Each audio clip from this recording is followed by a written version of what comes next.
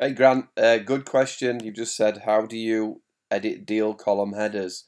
This is obviously your funnel statuses here. This is where I think you mean, right?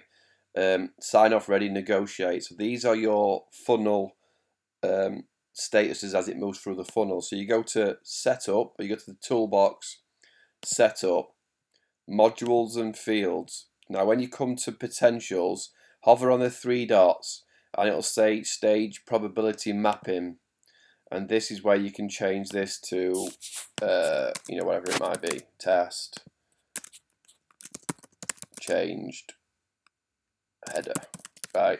And then you can change it. If you want to you can you can say what type it is what percentage that is um, you know. So if you get to this status obviously it's if it's 75% guaranteed you're going to close it then you change that. Uh, and you save it then you go back to your potentials and now uh, changed header proposal send test.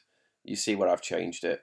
So just to show you again, go to the toolbox, setup, modules and fields, um, go to potentials but the three dots and then stage probability mapping and that's where all your headers are uh, and you can change the um, obviously like if you got a thousand dollar sale or, or, or potential and its probability for that stage is 10%, it, it adjusts your funnel to having a $100 in the funnel, isn't it?